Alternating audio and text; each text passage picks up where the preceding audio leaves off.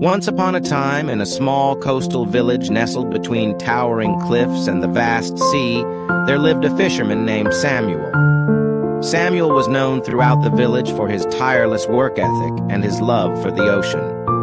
Every day, before the sun even began to rise, Samuel would set out on his fishing boat, ready to face the challenges that awaited him. Samuel's boat, named Seabreeze, had weathered many storms and carried countless memories of successful fishing trips. It was a modest vessel, painted a faded blue, but it held the dreams and aspirations of a man who sought to provide for his family and community. The life of a fisherman was not an easy one. Samuel had witnessed the unpredictable nature of the sea, its fury and tranquility, and had learned to navigate its waters with great skill. He knew that his livelihood depended on his ability to read the signs of the ocean, to decipher its moods, and to adapt to its ever-changing tides. With his trusty nets, fishing lines, and a heart full of determination, Samuel would cast his nets far and wide, patiently waiting for the fish to take the bait.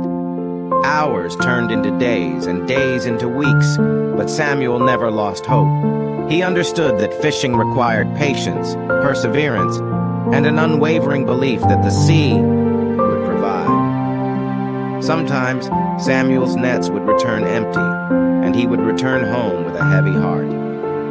But he never let his disappointments discourage him. Instead, he used those moments as fuel to push him further, to explore new fishing grounds, and to refine his techniques. The villagers marveled at Samuel's resilience and his never-ending quest for the perfect catch. They would gather at the shore, eagerly awaiting his return, knowing that he would share the bounties of the sea with them. Samuel's generosity was as vast as the ocean itself. He would distribute his catch among those who needed it, the most, ensuring that no one in the village went hungry. As the years passed, Samuel's dedication paid off. His perseverance and hard work had transformed him into one of the most prosperous fishermen in the region. He had gained the respect and admiration of his fellow villagers, who looked up to him as a symbol of hope and resilience. But despite his success, Samuel remained humble and grounded. He knew that the sea could be fickle, and that his fortunes could change with the turn of the tide. He continued to wake up before dawn, setting out to sea with the same passion and determination as he had on his very first day. Samuel's story spread beyond the village, becoming a legend that inspired others to embrace the challenges of life with unwavering dedication. He became a symbol of hard work, perseverance, and the rewards that come to those who never give up.